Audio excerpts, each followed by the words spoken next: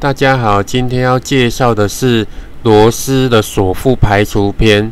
那这里呢，各位有没有遇到说，我们拿到螺丝，我们可能要锁附在一个物件上面？那这个物件上呢，它是有螺纹的。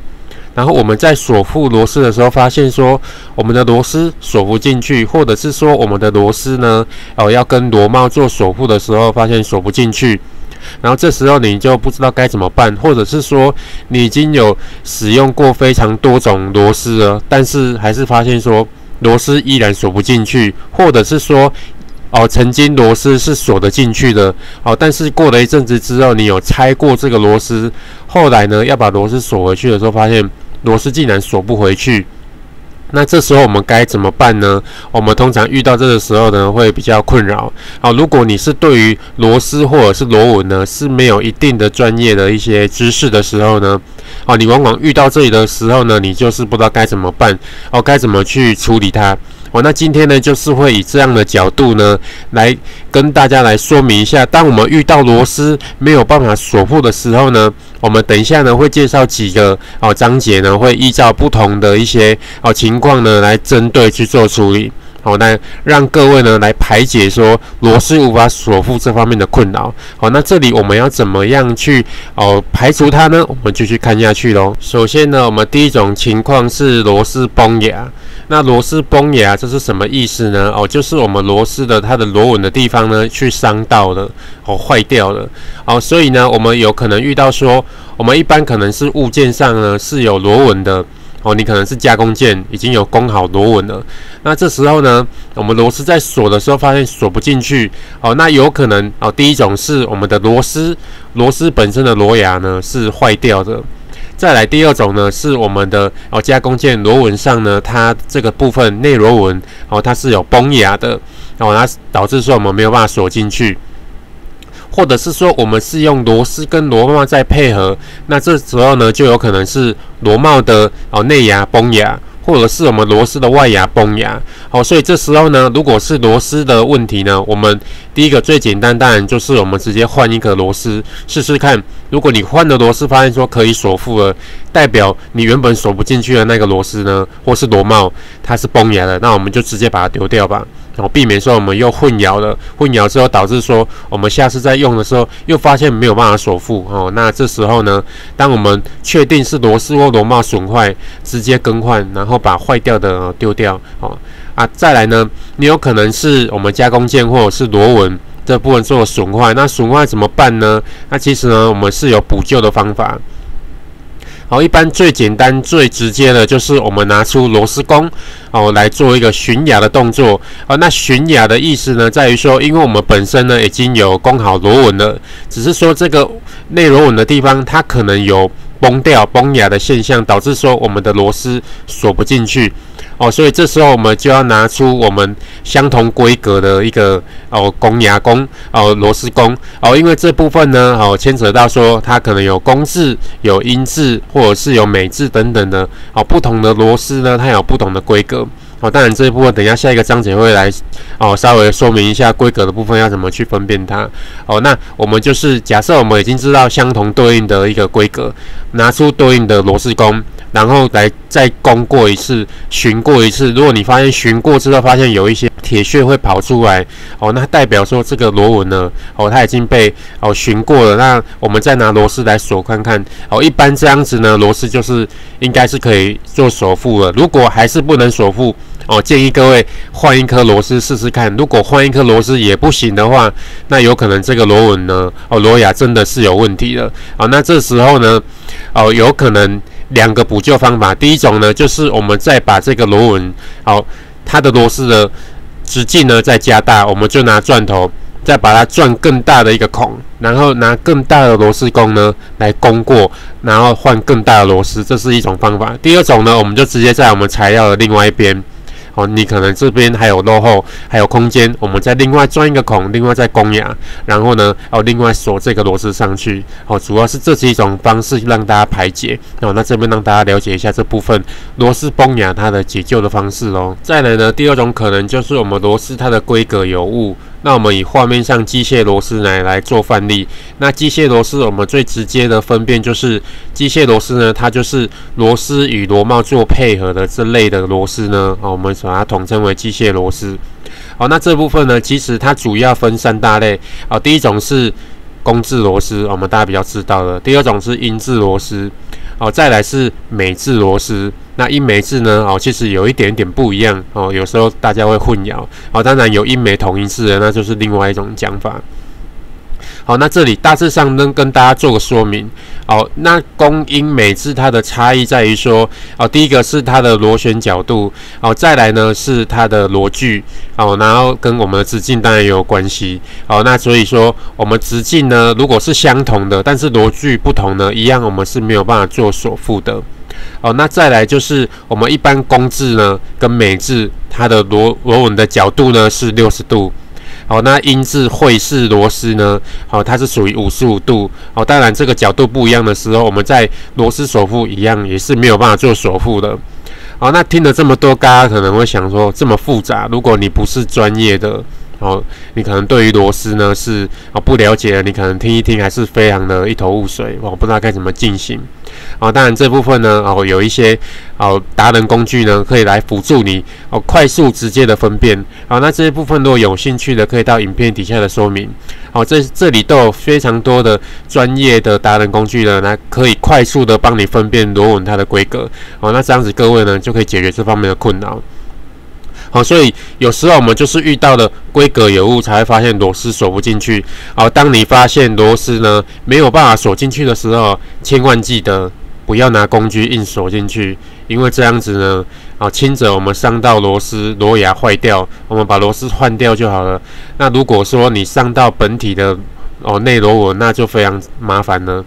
哦，有时候呢，我们这个内容它可能是一个家具的内牙，啊，或是汽机车上面它本体上，好比说是齿轮箱，或是比较重要零件，像是引擎，然后你拿了错的螺丝，然后你又拿了工具，拿了扭力扳手，硬把它锁进去，然后发现说，哦，那你的螺纹坏掉，那真的是，哦，我们有时候可能用螺丝工可以补救，啊，如果没有办法补救回来，就是非常困扰，哦，所以千万记得，我们如果还没有确定的时候呢。你千万不要拿工具硬锁，我们可以先用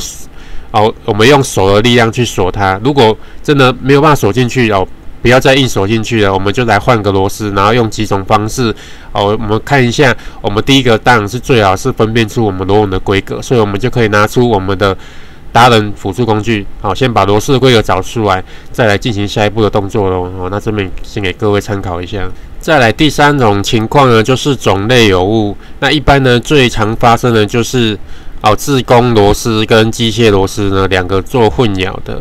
啊。那其实呢，如果对于专业人士呢，我们其实一看螺丝的牙身，或者是头头型，或者是它的外形呢，我们就已经可以分辨出到底它是自攻螺丝还是机械螺丝呢。好，那关于自攻螺丝，其实它的分类还有很多。如果有兴趣的，可以到影片底下的说明，这边有更深入的一些细节呢，也可以让大家做一个学习跟参考。哦，那这里呢，哦，这是什么意思？我们一般呢，有时候我们如果是那种哦装潢类的，或是哦木工类的，有时候我们就是会运用到哦木螺丝、自攻螺丝。哦，那这时候呢，我们可能把螺丝拆起来之后呢。然后呢，我们就是拿到了我们一般的机械螺丝，然后想要把它锁进去，发现哦锁不进去，怎么锁都锁不进去，或者是说我们不小心拿到了这个自攻的螺丝，然后要来锁机械牙的螺丝，我发现还是锁不进去。哦，那这时候呢，我们就是因为种类有误，那种类有误，当然它是没有办法锁付的。好，那我们来看一下牙身。好，那一般呢，如果是机械螺纹，我们刚前面有提到，它就是螺丝螺帽两个有互相做搭配的，一般这个叫做机械螺丝。所以机械螺丝呢，一般呢，我们就是会有螺帽搭配。哦，当然它的牙身的部分呢，我们看牙的地方呢，自攻牙或者是这种呃尾端像。钻头的是哦，钻尾螺丝呢，它的牙身都是比较尖的，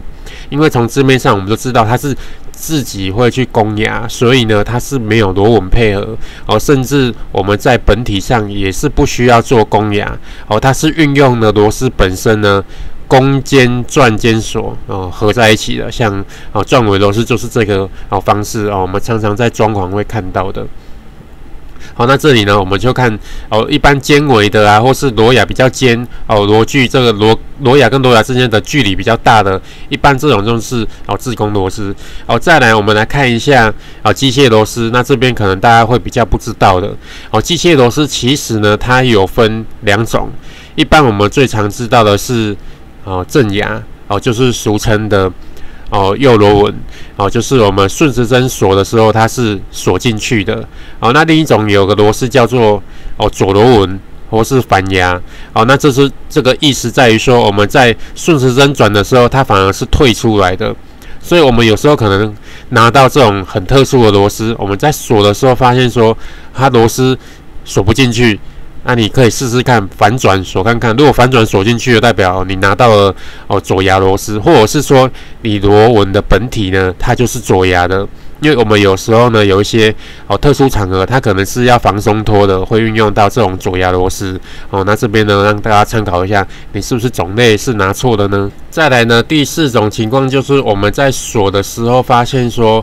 哦非常的紧，你就觉得说哦一开始锁就还好，就松松的。但是越锁怎么会越紧呢？然后你就发现说，是不是我的螺牙坏掉？哦，那是我再去哦找一些螺丝工又不容易找。好，那这时候呢，我们就来看一下，我们是不是正在锁管用螺纹，好，或是管用接头。好，那这时候呢，我们该怎么分辨呢？其实我们从它的本体呢，大致上就可以看出来。好，如果说它这个部分的本体呢偏大一点，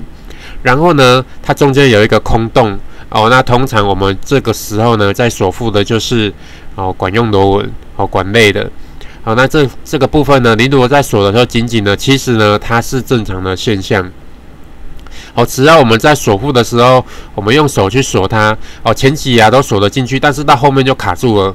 哦，你锁锁不进去，甚至你必须要拿工具出来。那你拿工具锁的时候，又发现哦又觉得很紧哦，跟我们一般锁螺丝的感觉不一样。哦，其实这是正常的现象。好，因为呢，我们一般这种管类的管用接头、管用螺纹呢，会运用在哪里比较多呢？哦，不外乎是啊气压、好空气啊，或是油压哦，走油路系统的哦，或是说水路系统哦，像我们一般哦家里常见的水龙头哦，走水路哦等等的哦这类的，我们都会用到管用螺纹、管用接头。那为什么它必须要这样锁起来紧紧呢？因为呢，我们要防泄漏，哦，像是气体，哦，或是这种瓦斯，哦，天然气，或是说是我们的水龙头，或是油压。如果呢，你没有这样子有防泄漏的机制呢，我们在锁附的这个地方的这个面呢，其实它都会有泄漏的现象。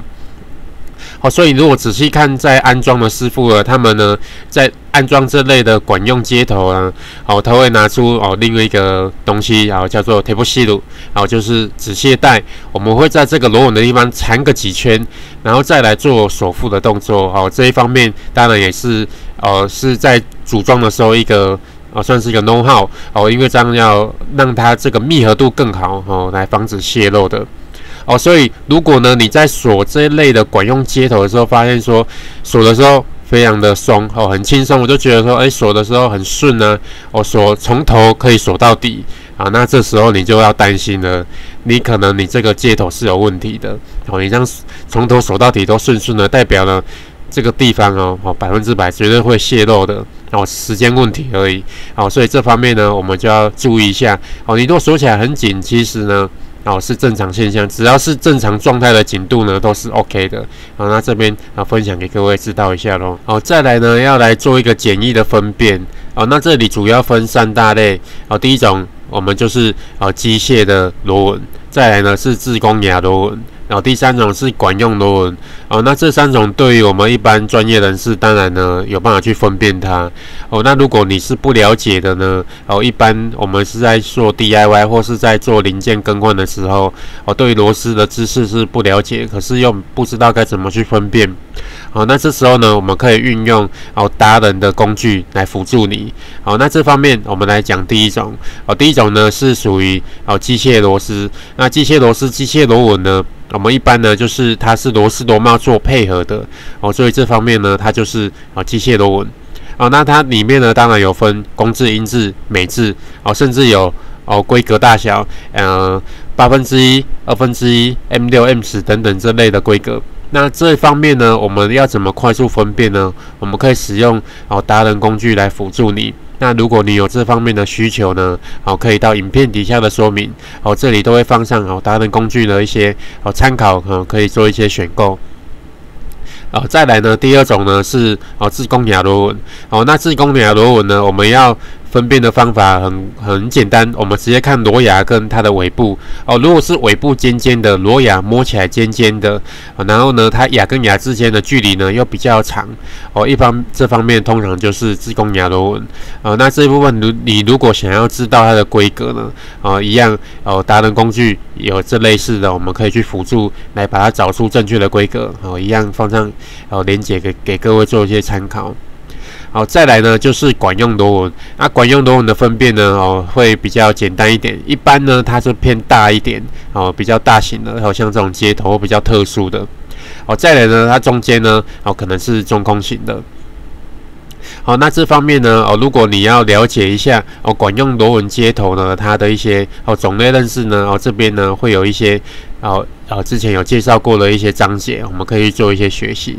那如果呢，你想要分辨规格的话呢，哦，这里呢，哦，搭能工具呢，把它做成哦四大天王，哦，那管用螺纹呢会有四大天王，我们一般最常见的那规格呢，怎么去分辨它呢？哦，都会辅助你啊来找到正确的规格。哦，那这里呢，我们做了简易的分辨之后呢，我们就知道说，哦，到底呢，我们的螺纹螺牙锁不进去呢，到底是什么方面的问题？那我们再针对这几种问题来做一些排解喽。最后呢，来总结一下，哦，我们螺丝锁腹的排除篇。